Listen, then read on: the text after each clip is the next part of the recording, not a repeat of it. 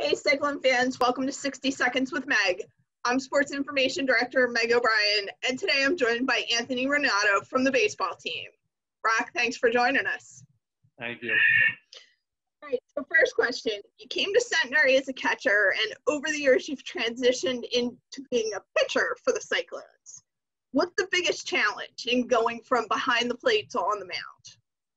I think personally the biggest challenge for me was just learning the position. I pitched very minimally throughout my life, maybe a little bit in little league and then a couple times in high school. But I think the biggest challenge for me personally was just learning how to do it at a higher level and learning it quickly. Because by the time I started pitching, it was February and our season started in March. So I had to get going a little quickly.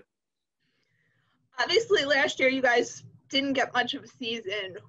What are you most looking forward to this year when you hopefully get back on the field? This year, I'm just looking forward to having a season, like having a full season. We got cut short.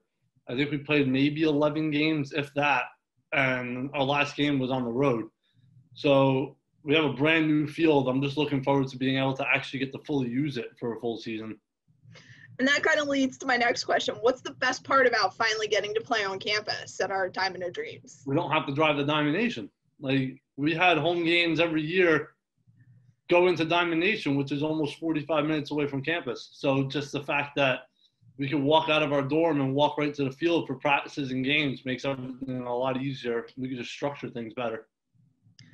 And now for the fun questions. If money were no object, what would you do all day? Probably the same thing I do now. All I do is fish. So I mean, I really don't do too much as it is, but yeah, definitely, definitely still would just end up going fishing. How about if you were a Crayola crayon, what color would you be and why? Oh, inchworm. It's the coolest color. Like, the, no one thinks of it, so why not? But for those of us that don't know, like, what kind of color are we talking about? Inchworm, inchworm's like green, sort of. Oh. A little bit. Enough. If you were the ruler of your own country, what's the first rule you would enact? Oof, no speed limits. All right.